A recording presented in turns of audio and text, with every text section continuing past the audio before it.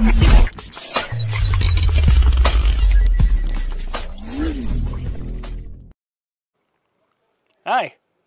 Nolan with Tacticon Armament here. I want to talk to you guys about dry fire really quick. Why dry fire, why you want to do it, and what it brings to the table. So when we come out here to the range, we are either here to have fun or here to practice for real life scenarios, do drills, things of that nature, bring up our skill with a firearm. So why dry fire when we're out at the range when we could just shoot? Well, let me answer that for you. When we come out here, ammo being as expensive as it is, sometimes you want to warm up your skills. So that's why I suggest doing a dry fire warm up.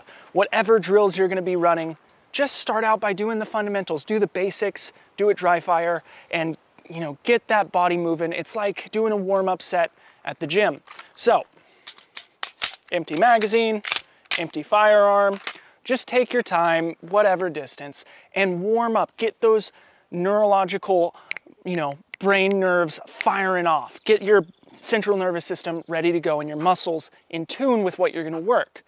Doesn't have to be anything intense. Can be just simple draw, fire, target acquisition. It can be, you know, it can be any sort of things. It could be, you know, different drills from surrender, learning how to turn around, or maybe the other way figuring out different body mechanics and how it's most efficient for you without wasting ammo. This way you can kind of smooth up the process before you actually start putting rounds down range and working your recoil control and trigger management.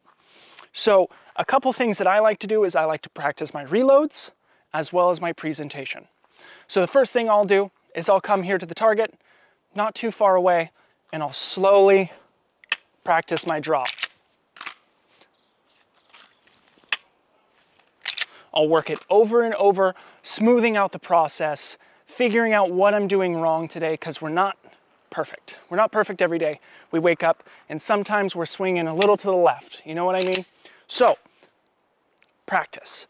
I'm gonna make sure, okay, I'm pressing my trigger straight back to the rear. I'm making sure my trigger finger's pulling straight back. I'm making sure I'm not over gripping to one side. I'm getting a good grip and I'm getting a good sight acquisition. Another good thing to practice is your reloads.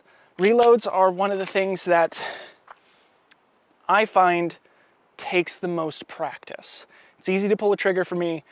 Reloading is a little bit more difficult, requires more dexterity. You're having to get, you know, this thing in this hole. So what I like to do is after I've done a couple warm-up shots, a couple warm-up drills, then I just start practicing like a 1R1 style drill. So I'll pull out, shoot, and reload. From there, reset and go again. All of these things are gonna help you so that way when you actually start putting rounds down range, you're not feeling bad about wasting ammunition when you're jerking shots off to the left or if you're fumbling your reload. This way you've kind of warmed up, you're ready to roll, and it makes for a better experience out of the range. Give it a try, see how you like it. This has been Nolan with Tacticon Armament. Thanks for watching.